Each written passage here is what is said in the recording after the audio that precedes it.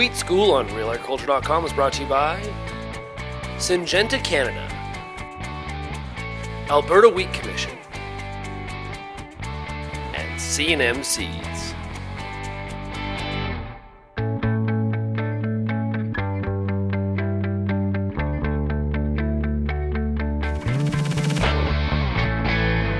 Welcome to Real Agriculture's Wheat School series. I'm Kara Oosterhuis. In this episode, I talked to Kelly Turkington, who is a plant pathologist with Agriculture and Agri-Food Canada based out of Lacombe.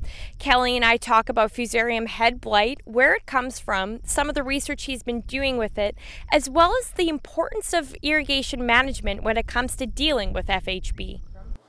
Well, Fusarium head blight, uh, I would say, is one of the key constraints for successful small grain cereal production in Western Canada now. Uh, it's a disease that's been a, a, problem in the Eastern Prairie region since probably uh, the mid 1990s, early to mid 1990s, and unfortunately has become more of a, a problem uh, further westward, is initially starting in eastern Saskatchewan and then throughout Saskatchewan southern Alberta, and now, unfortunately, in many areas outside of southern Alberta, we're starting to see uh, the problem becoming more of a concern. So, what research have you been working on in regards to Fusarium head blight? So, our, our focus at Lacombe, and we've done some work with colleagues elsewhere in the province, especially, and elsewhere on the prairies, has been uh, surveillance for the main or the key or the most important causal agent, which is Fusarium graminearum. So we've been looking for it since uh, the mid 1990s. Uh, and at that time, and then up until probably the mid to sort of 2005 or so, it really wasn't a, a pathogen that was typically found in many areas of the province outside of perhaps uh, southern Alberta. And uh, so that situation has changed. Um, uh, you know, we're looking at starting some work to uh, develop some integrated crop management strategies for the for this particular disease. But it, it is certainly uh, of all the issues that I deal with and try to develop practical strategies to manage, it's probably one of the most difficult uh, to uh, get a, a really high level of control on for irrigation farmers, how does irrigation management play a role with this? And irrigation in a, an area where which is typically dry and is and an area where the conditions are not normally conducive for fusarium head blight. Uh, managing your irrigation can be an extremely important strategy to, to deal with uh, Fusarium graminearum. Uh, if you look at trying to limit your irrigation as the crop is coming into head emergence and during that anthesis period, probably for about seven to 10 days, and even if you can extend it a bit longer, uh, that will produce conditions that are less conducive to the disease. Uh, the challenge is meeting the water needs of the crop uh, at the same time. So often you want to probably recharge your your water in your soil prior to head emergence, limit the irrigation or stop it altogether, and then couple that with a fungicide application at anthesis and growing a variety that, that's got a really good level of resistance. How reliable of an option is fungicide applications with FHB?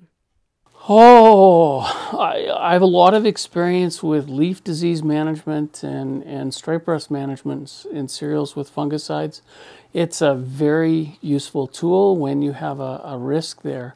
Unfortunately, with Fusarium head blight, uh, the level of control with uh, fungicides is not as good as we see with stripe rust or, or the leaf diseases. So uh, it is an important strategy. And, and, and even though we see uh, that it, it doesn't provide the same level of control, there may be some, some key things to look at that will improve the producer's um, or get the mo- will allow the producer to get the most out of that fungicide application. When is the key time that farmers need to be keeping an eye out for it? So, in terms of uh, symptoms in the field, uh, the key time would be uh, towards uh, the latter part of, of grain filling. So, if the infection takes place around anthesis, usually within about two weeks, you'll start to see symptoms. And the typical symptoms in wheat are quite distinct.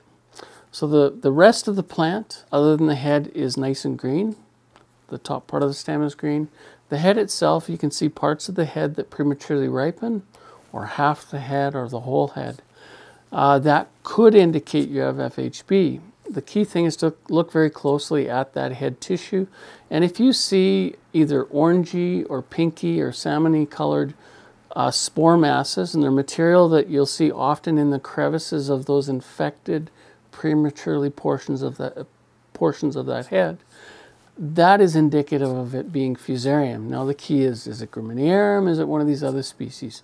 So if you see those symptoms, it's potentially, uh, there's potentially an issue there. Uh, the next stage would obviously be when you harvest your grain. So if you look at the grain itself, uh, you can, if there is an issue there, we'll, you can see these shriveled kernels, which are chalky white in appearance. So in wheat, the symptoms are fairly distinct. The difficulty is which Fusarium species are you dealing with? In is there anything you'd like to add in regards to the research you've done? Uh, probably the only thing with FHB is that it, it's a disease that's going to need uh, you need to target it with a with a with multiple strategies. So you can't choose a, a particular strategy. For instance, if you're looking at a leaf disease, uh, if you use a fungicide, you can get really good levels of control. With with Fusarium head blight, you need to use a combination of strategies. So rotations with at least two years between susceptible crops, choosing a resistant variety, uh, scouting the crop, uh, following some of the risk uh, aids that are out there, and there's some things that I think are coming up for producers in Alberta in 2017 to gauge the risk and the need to spray a fungicide. Using good application technology and listening to, to people like Tom Wolf and some of the advice that Tom has as far as getting good coverage of that head using a good product, using the right timing, and uh, with that combination of strategies, you can improve your chances that you're going to manage it to a point where it may help to limit the amount of downgrading or uh, mycotoxin contamination.